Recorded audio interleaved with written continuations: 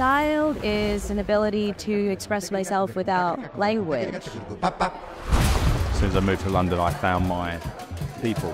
Place to be if you want to see something different. On the people on the streets, to the shows. I wear the clothes, they don't wear me.